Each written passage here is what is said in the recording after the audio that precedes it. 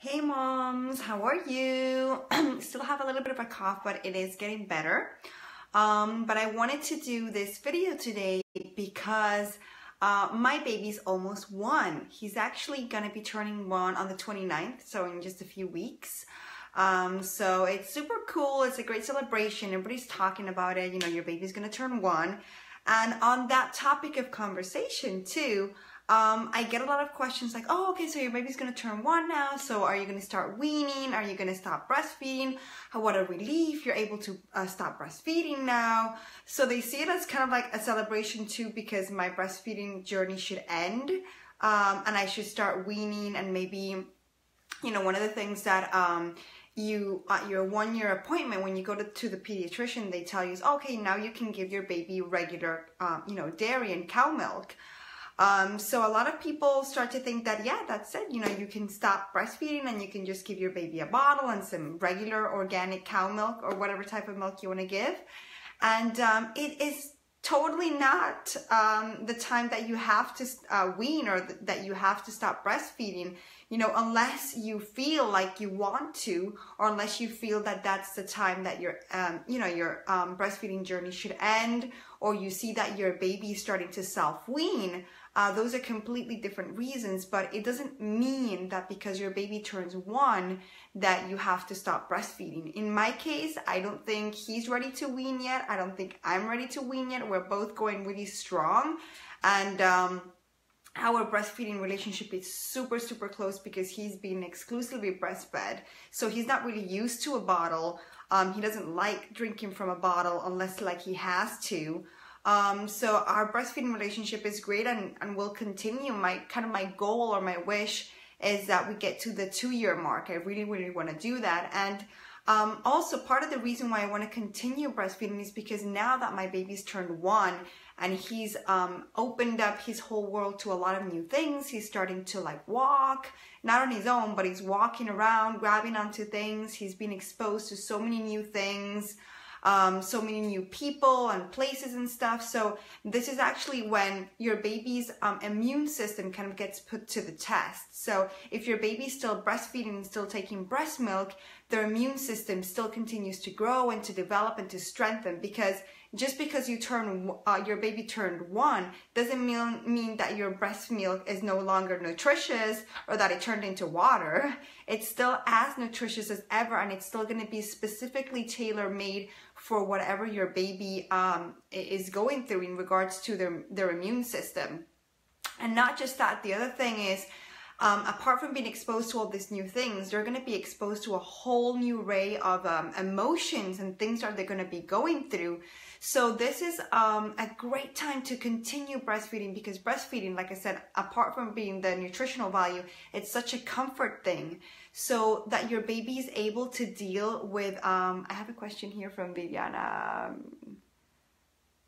yeah, you guys are still, um, you know, going through your breastfeeding journey, Vivian. I know that your um, little girl's a little bit older now, and that's awesome.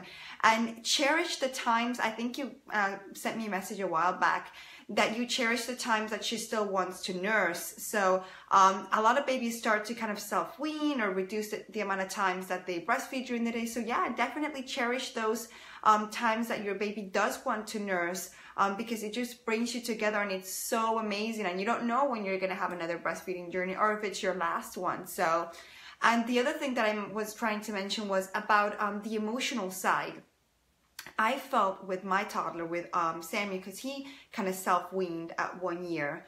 And um, I wish that I had, I, I kind of just let, let him go with the flow and I felt that I was kind of ready and I wanted to get pregnant. So, um, but I really wish that we had continued breastfeeding because when he was turning into those terrible twos, um, transitioning to like like 18 month stage, oh my god, it was so stressful for me. I wasn't able to comfort him, and he had so many tantrums, and um, I just felt that if we had been able to continue our breastfeeding journey, it wouldn't have been as hard because um, that comfort thing for him was huge. Breastfeeding was a very huge, like anything could go wrong, but if he had his boob and he was able to nurse, he would just completely like settle down and he would be so much more relaxed. So um, I think that's one of the, the things that I'm going to talk a lot about lately, how I feel that breastfeeding helps me with those challenges, those emotional challenges of Isaac, which I'm going to continue breastfeeding.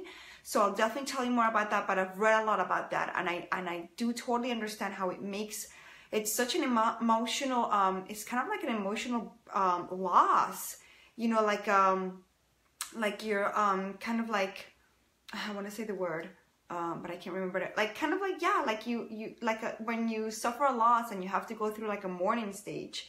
It's kind of the same thing when when when a baby stops uh, breastfeeding, and even if they're like over a year or however old they are, it's uh, it takes time to process.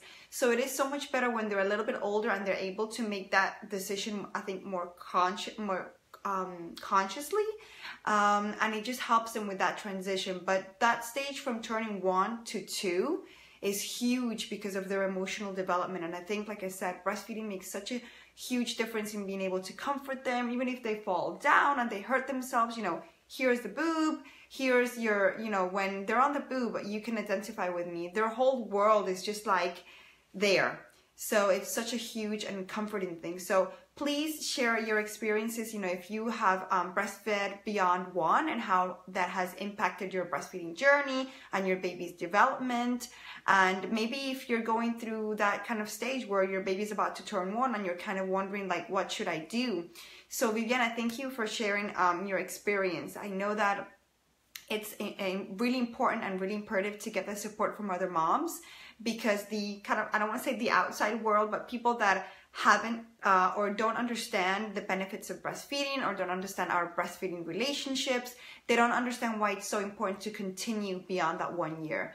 So um, even pediatricians, you know, even you go to the pediatrician sometimes, and I'm not saying don't listen to your pediatrician, but they start to say, oh, okay, it's time to wean now. Um, you shouldn't be co-sleeping at night. You shouldn't be um, breastfeeding at night because cavities and this and that and the other. So, so many things, but you should be the one that makes that decision, um, you know, on a conscious level because it's what you want to do, um, what you feel you and your child should do. Remember, breastfeeding is a, is a relationship between you and your child. No one should come in between that, and you and your baby should be the ones that make that decision um, consciously so that you don't have any regrets later on and so that you don't um, how do I say this uh, impede certain like developments and like I said um, don't cause any emotional stress for your for your baby okay just wanted to share that with you mommies bye